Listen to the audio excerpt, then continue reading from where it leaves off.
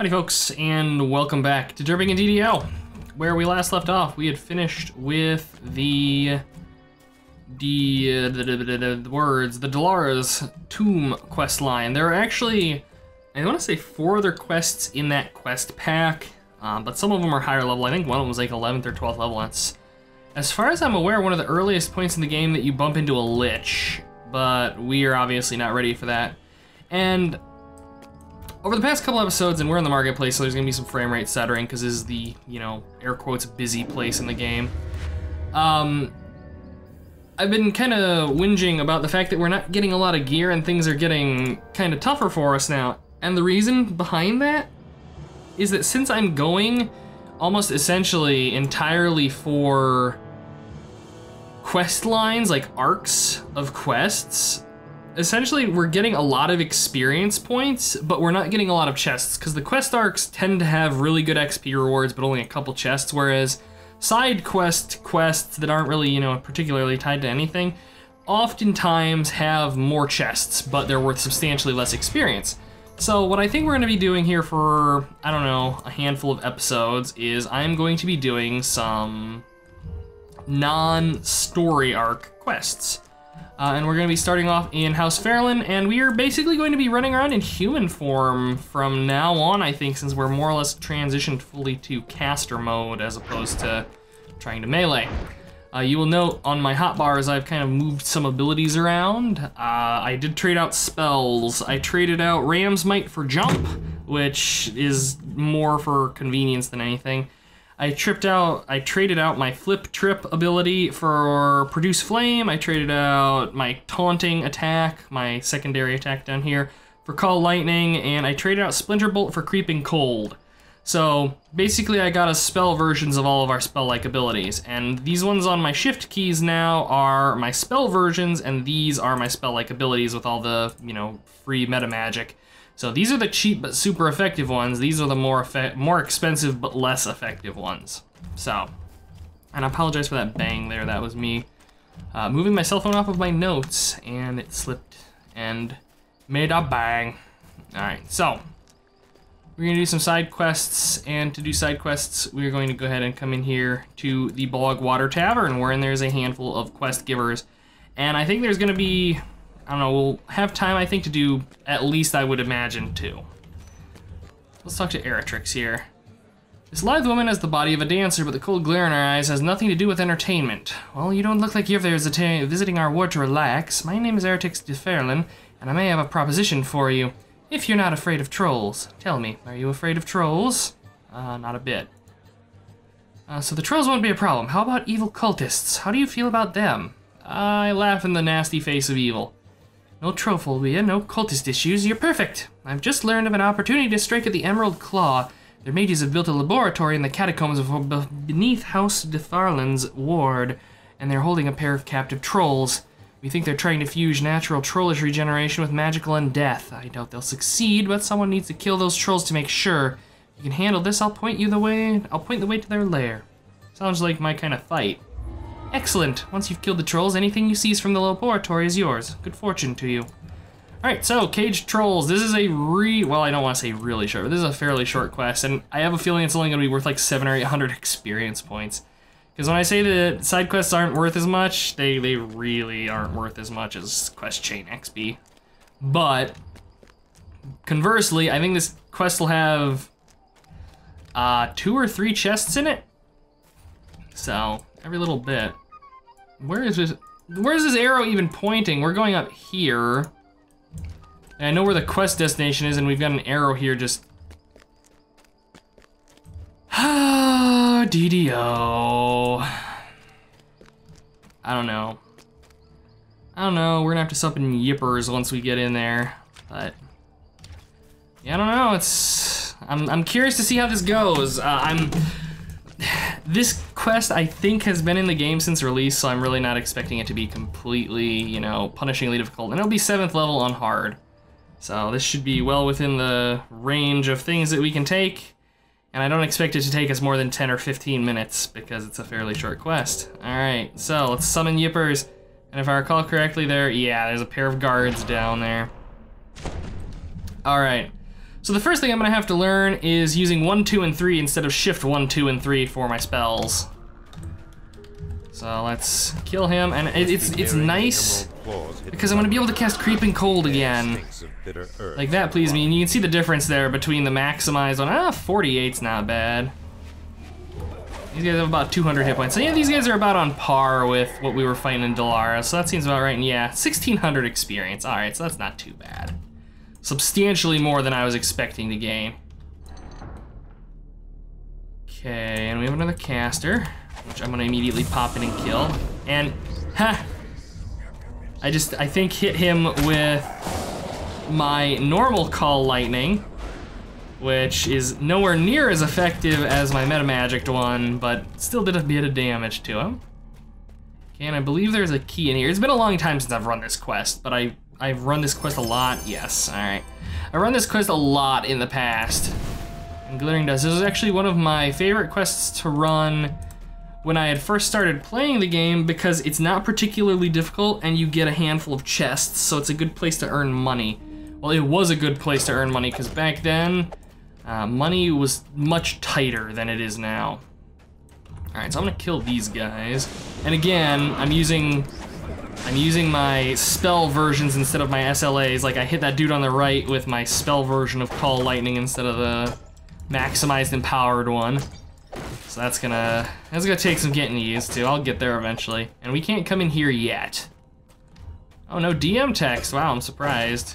So we do have a bookshelf with a Wave Crasher cargo manifest, which is kinda useless.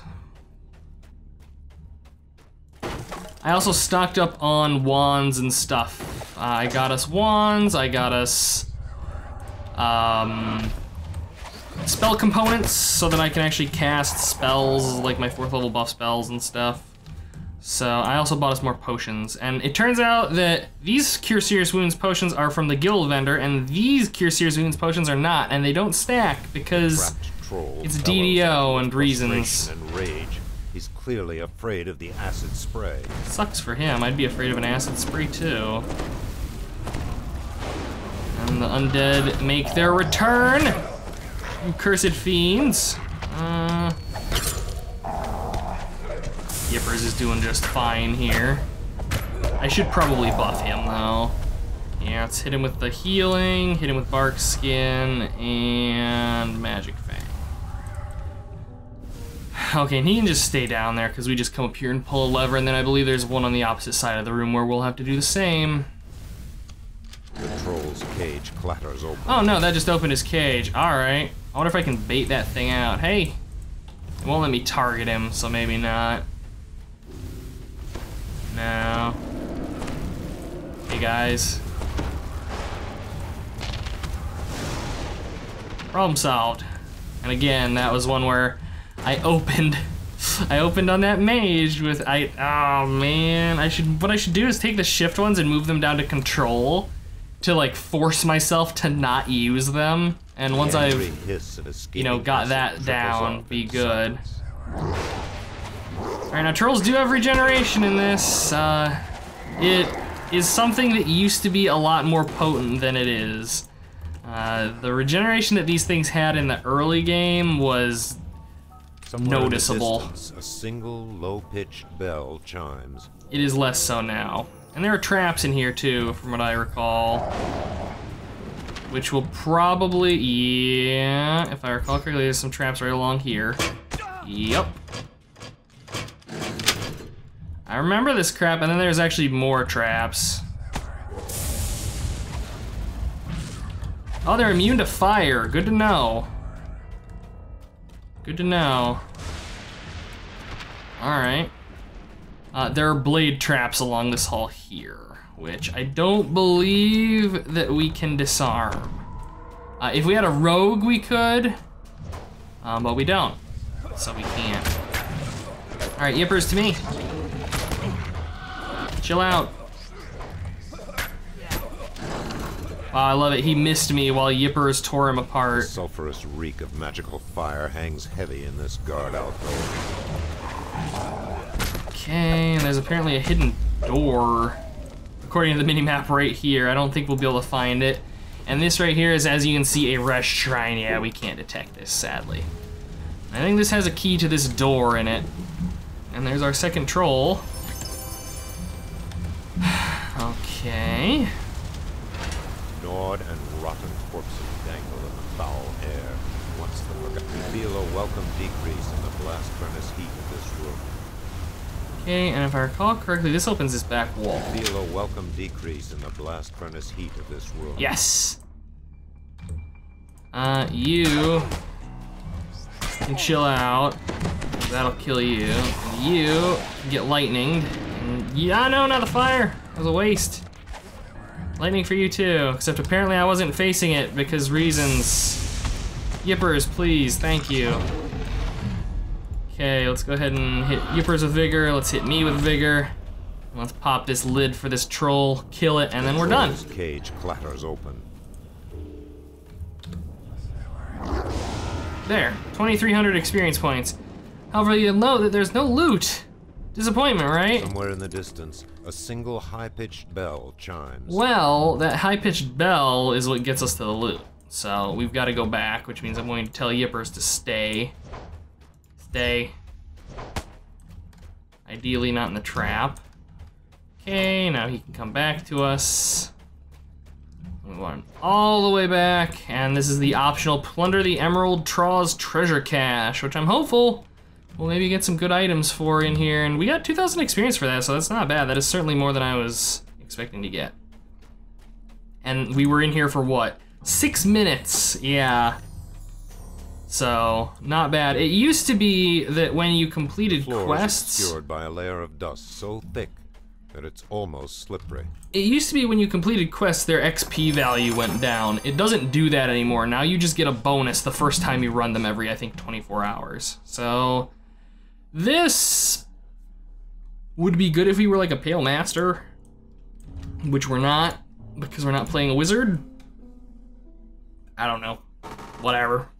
And the other quest I'm going to hammer out in this episode, I think we are going to do is, um, by the same, well, by a quest giver in that same room. And it's a little bit longer than Cage Trolls. It's not heroically long, but it's a little bit longer. And I think we'll get two chests for it. Maybe, there might be three, I can't remember. I thought there were two in Cage Trolls, but I think the other chest was behind that secret wall that we couldn't open. So, such is the downside of not having a rogue. This was, like I said, when they first started developing the game, a lot of their older quests were you know, they were designed expecting you to have a rogue, so they hid, you know, loot and stuff. Whereas nowadays, there's, you know, there might be like an optional boss or something, like a mini boss hidden behind a secret door, but generally speaking, there's not. Okay. And um, let me know in the comments, this is going to be going up at like the probably tail end of a batch of, I think, six videos. So let me know in the comments, um, our quest log, obviously, we have a lot of quests. We've done the ones in yellow, we have not done one the, the ones in gray. Do you guys mind if I like go back and do the ones that we've missed just to kind of show them off to you? They won't be worth a ton of experience, but if nothing else, it'll probably give us a way to shore up our loot. So I'm thinking I might do that, and some of them are actually pretty decent, except Proof is in the Poison. Proof is in the Poison is horrible. The Inquisitor of the Silver Flame looks directly into your eyes. Are you a faithful servant of the Flame? Are you prepared to demonstrate your devotion with unquestioning service? We're going to lie and say we are. Good. These prissy Phiarlans refuse to obey my orders, but you seem different. A small group of elven missionaries has built an underground chapel to the false gods of the sovereign host and hired halflings for protection. In the Silver Flame's name, I want them all removed, taught a lesson, exterminated, to put it bluntly. This holy work will lighten your spirit and fatten your purse. Will you purify the fools by fire? Am I to reject the will of the Silver Flame? Exactly the right attitude, my child. The way to their vile chapel is not far from here. Go forth and ensure that the Silver Flame remains unchallenged in these blessed lands. Now, this is Inquisitor Nomen. Remember that name.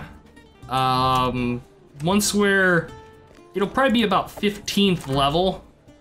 Just remember that name. We'll, we'll be doing a quest relating to him. Uh, and there's a hidden chapel right here. It's so hidden, and we're gonna do it on hard because why not? We seem to be doing pretty well on hard difficulty thus far. Uh, how long is it gonna last? I don't know, but I'm gonna ride it out as long as we can. So we're gonna go ahead and buff Yippers, and I'm gonna go ahead and hit myself with freedom of movement, just to have it. And this is gonna be worth 1400 XP, so. can be heard above the sound of rushing water. The Fighter Wizard. Back when they actually, you know, named out the classes of NPCs. And like, we're killing commoners and stuff. I knew the Silver Flame would punish us for coming here. Yeah, the elves have brought our protection, intruder. Flee or die. Yeah, but you're halflings, so I'm just gonna beat you to death with a stick. Because you're halflings. And as you can see, we have some optionals. Slaughter a dozen mercenaries, slaughter all the commoners, kill Celine, Peacemaker, and Oisin the Merciful. Those are the two bosses at the end, and then slaughter 10 elven preachers of the Sovereign Host. So, basically... The Door slams shut, just as you notice that everything here is coated with quivering muck. Oh no, it's an ooze. Oh no, it was an ooze. And it is now no more. But uh, yes, this, like the Church of the Silver Flame is not good. At least as far as I'm concerned. A lot of Eberron is, like the campaign setting, their whole shtick is that alignment is very fluid. And the Church of the Silver Flame is a good aligned church to the public, but they do some really evil things. Oh, that's trouble. Yippers, stay. Yeah, exactly. Like, I don't even have to kill him. The acid trap will do it for me, except for this guy. He gets lightning bolted. Ah, ow. The Ow. sound of tramping feet approaches from the hall ahead. What do we have? Priest dies first. Oh, come on. Come on. There we go. You get cold damage on you, and you get fiery death. Okay, so yeah, our produced flame is doing 46 points of damage, like our normal non-meta magic version, so that's not bad. For six spell points, like, I don't feel bad, you know, blowing spell points to cast that. It's obviously not as good as the other one. Oh, yippers. Oh my god. Yippers, yippers, yippers. I believe we want to go that way, but we're going to go this way. Because normally, I just speed through this quest, and if we went the other way, that would get us basically to the end of it. But I want to kind of, you know, explore a little bit. Pop in a vigor spell on myself for healing. Speaking of which, get Yippers with his little... Hey, a plus three devoted Darkwood Buckler of acid resistance. Let's have a look at that.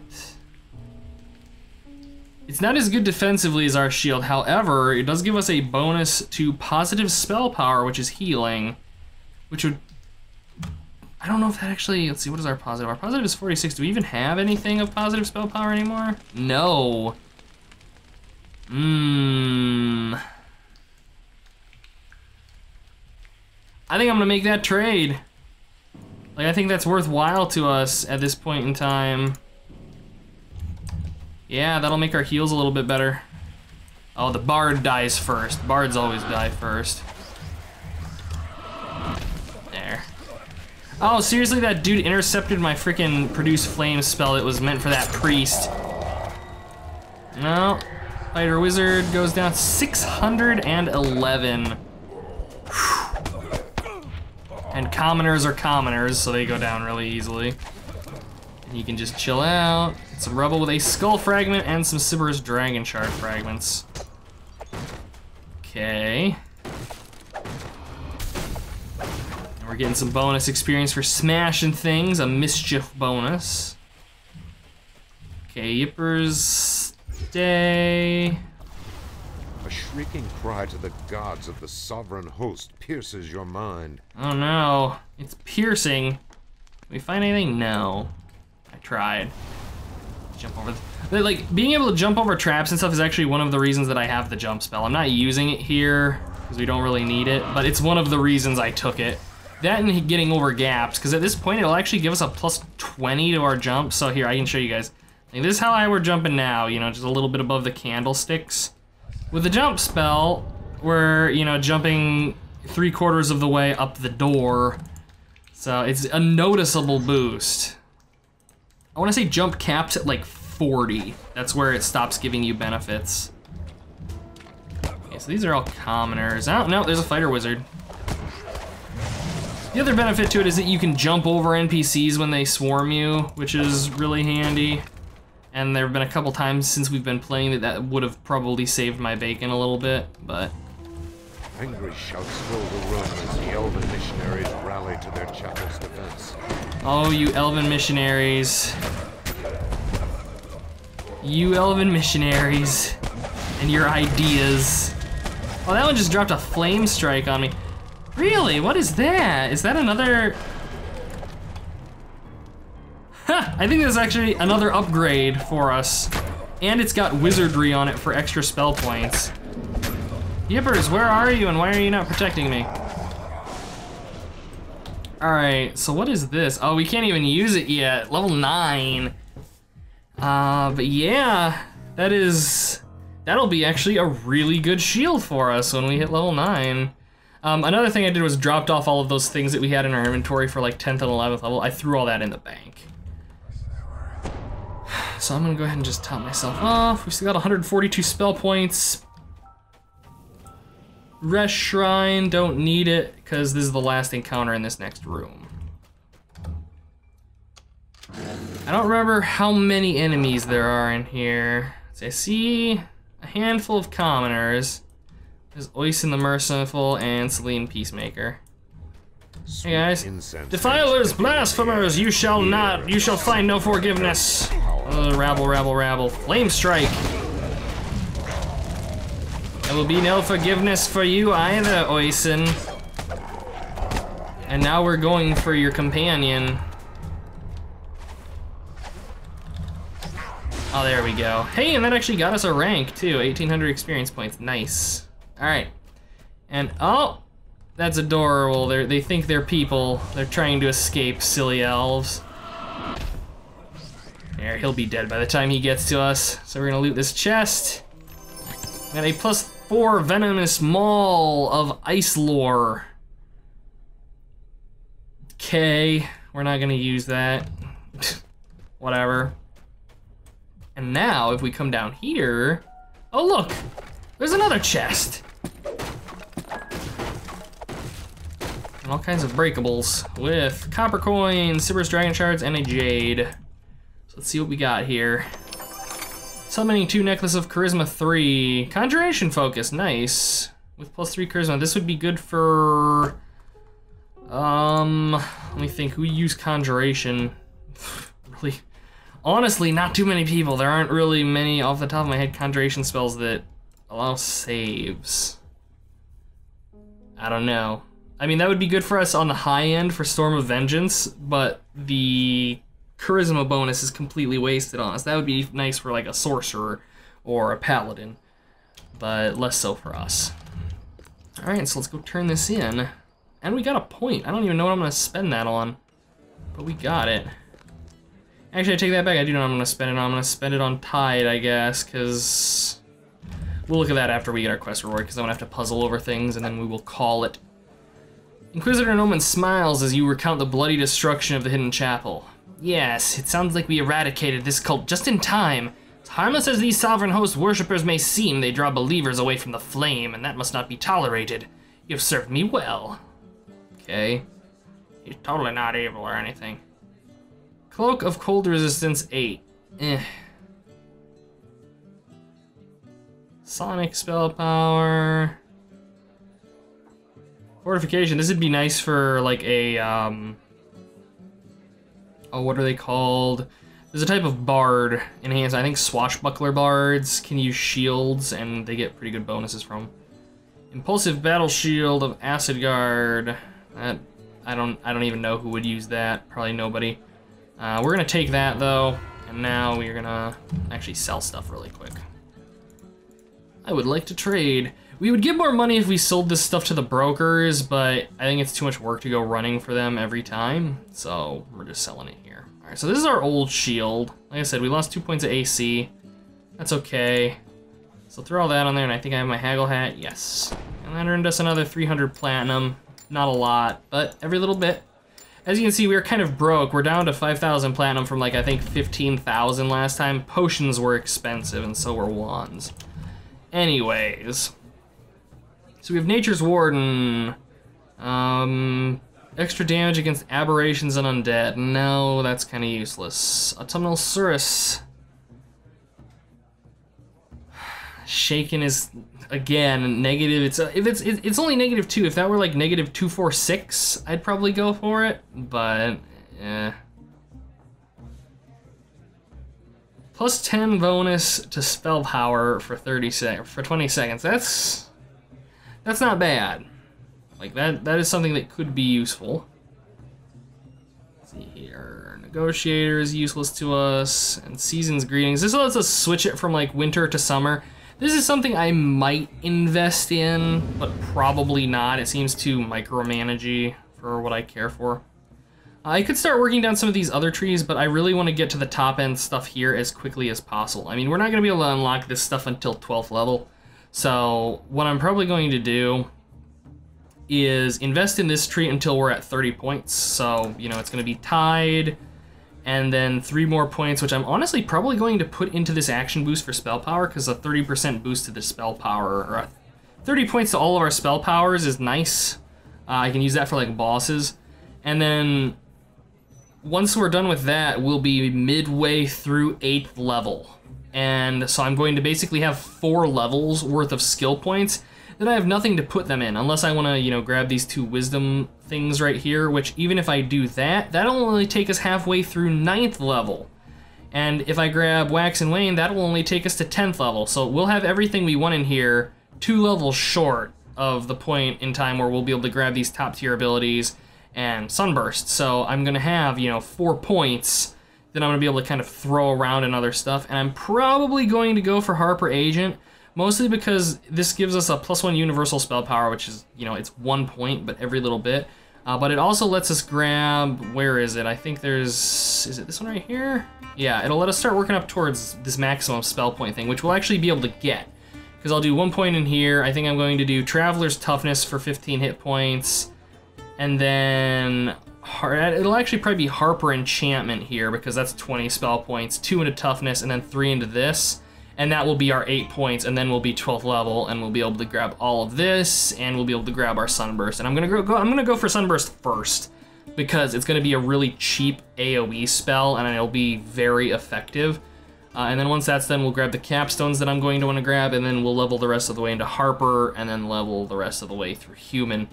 Uh, so by the time we hit 12th level, you know, thereabouts, we're going to be a lot more, I don't want to say more powerful, because we're already pretty darn powerful. We will be more powerful, obviously, but we're going to have uh, expanded resources, I should say, because like between the Harper enhancements, like that's going to be, I think, 110 spell points, uh, 30, 30, and 40. So that's actually 100, yeah, 110, 120. 120 extra spell points on top of everything else. So, you know, it adds up. And the reason I'm still running here is because we have mail. And I don't know what it's for, so we're gonna go find out. Just jump back to the marketplace. I could run up here and get it, but that's okay. I don't mind taking, you know, a slight jaunt through the marketplace.